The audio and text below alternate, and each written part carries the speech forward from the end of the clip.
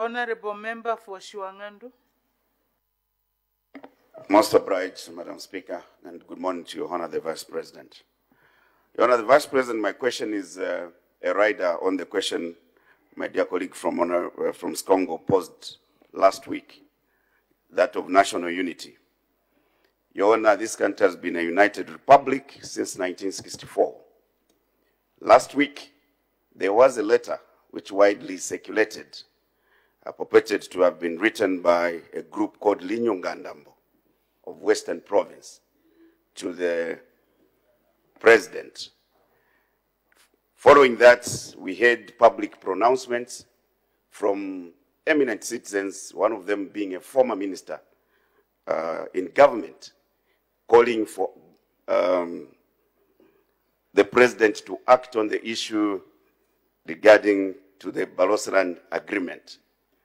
May we know, and through you, and the nation would like to know what your government position, because this group is claiming that there could have been some arrangement and commitment from your government to deal with that particular matter in a certain way.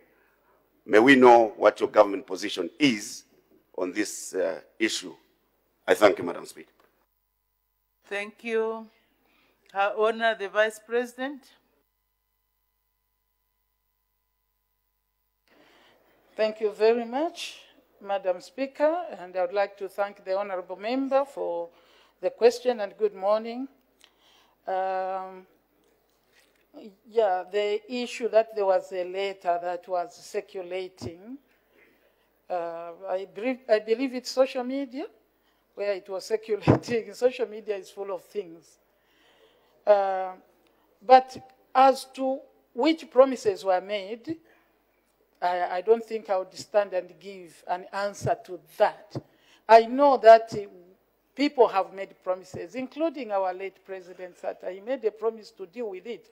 We are also studying this. We are a new government. We want to study. But one thing that we are today, we are a united country. We are one Zambia, one nation. That is what we are as a country today. Nothing has changed. And uh, if anything will change, I've said it is under study. Thank you.